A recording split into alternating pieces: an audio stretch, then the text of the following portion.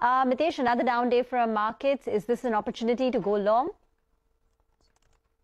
Good morning, Rima. Um, the market actually, you know, opened much uh, at, a better space to go long. Right now, uh, basically, I've been maintaining the outlook that we are doing a range of about 17,750 to about 17,400 and somewhere in somewhere in the middle of the range.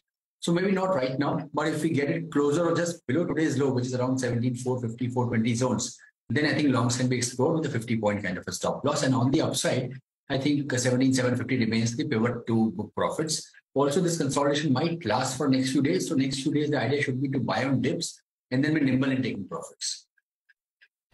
Okay, uh, what about the stocks, Mitessh? Yeah. Uh, on the stock side, cement is clearly a sector which is buzzing and is showing great strength. So uh, I've identified Ramco Cement amongst the cement pack. Uh, that's giving a good breakout. That's a buy. Keep a stop uh, below levels of 763 here and a target of around 815 can be looked at. And other stock on the sell side is Tata Motors. After a long time, we are seeing a negative breakdown here. That's a sell with a stop just above levels of uh, uh, 453 and look for targets of around 430 on the downside.